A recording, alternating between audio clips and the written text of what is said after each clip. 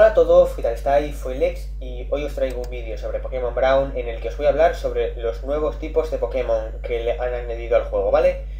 Bueno, el primer tipo del que os tengo que hablar es el tipo Madera, también llamado Good Type en inglés. Es un tipo físico y los ataques de tipo Madera son muy eficaces contra el tipo Agua, el tipo Planta, el tipo Hielo, el tipo Veneno, el tipo Volador y el tipo Acero no son muy eficaces contra el tipo eléctrico, el tipo bicho, el tipo roca y el tipo gas. No tienen ningún efecto contra el tipo fuego. Vamos, que no, no le afectan. Los Pokémon de tipo madera resisten los ataques de tipo tierra y bicho. Son débiles contra los ataques de tipo fuego, eléctrico, lucha y viento.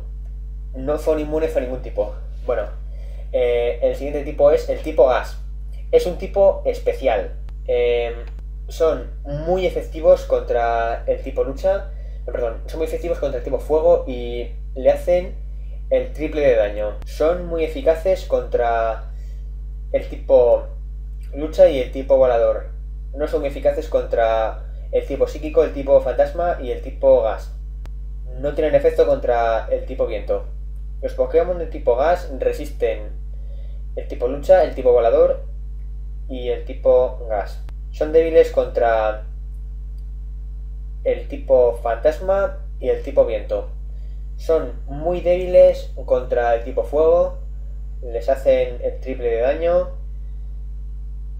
no son inmunes a ningún tipo. El siguiente tipo es el tipo anormal.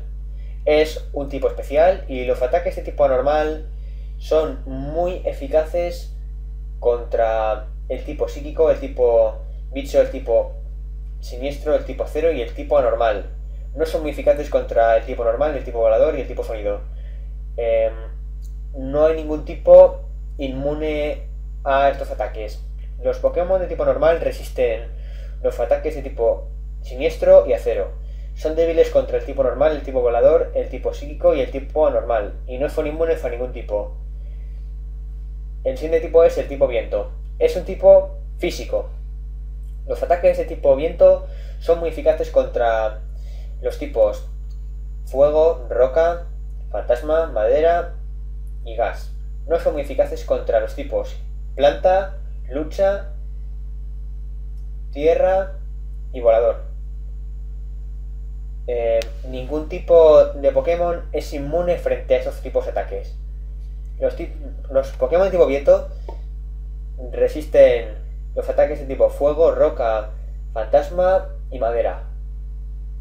Son débiles contra los ataques de tipo eléctrico y volador. Son inmunes al tipo gas. El último tipo del que tengo que hablar es el tipo fonido. Es un tipo físico. Los ataques de tipo fonido son muy eficaces contra el tipo agua, el tipo psíquico y el tipo siniestro. No son muy eficaces contra el tipo normal. No tienen ningún efecto contra el tipo lucha y el tipo fonido. Los Pokémon de tipo sonido resisten los ataques de tipo agua, siniestro, acero y anormal. Son débiles contra el tipo normal, el tipo lucha, el tipo volador, el tipo bicho y el tipo dragón. Son inmunes contra los ataques de tipo fantasma y sonido. Bueno, ahora os diré los Pokémon cuyos tipos han sido cambiados, ¿vale? Bueno, eh, Bellsprout ha pasado a ser a tipo hierba, madera, al igual que Whipping Bell y Victreebel. Gastly ha pasado de ser de tipo fantasma veneno a ser de tipo fantasma gas, al igual que Hunter y Gengar, sus evoluciones. Eh, el Pokémon Executor ha pasado de ser de tipo hierba psíquico, perdón, planta psíquico, a ser de tipo madera psíquico. Coughing y Whiffing se les ha añadido a ambos el tipo gas. Vamos, que ahora fue de tipo veneno, gas, los dos. Dito ha pasado de ser de tipo normal a ser de tipo anormal. Porygon también ha pasado de ser de tipo normal a ser de tipo anormal. Porygon 2 y Porygon 0 también han sido cambiados al tipo anormal. Bueno amigos, esto ha sido todo, espero que os haya servido esta información y hasta el próximo vídeo.